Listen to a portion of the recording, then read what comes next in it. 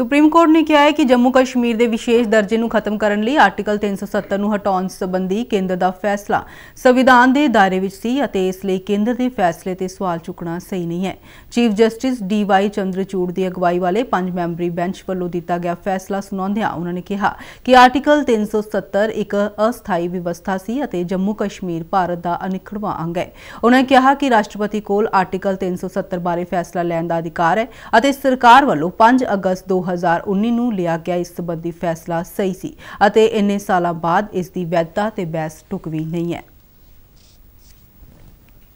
22 on the ground that the power under Article 371D cannot be issued to apply all the provisions of the Constitution to the state of Jammu and Kashmir.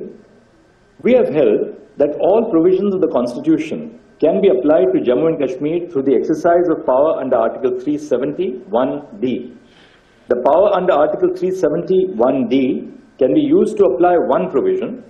more than one provision, an entire part of the Constitution, or all the provisions of the Constitution, that is the entire Constitution. The provision does not make a distinction between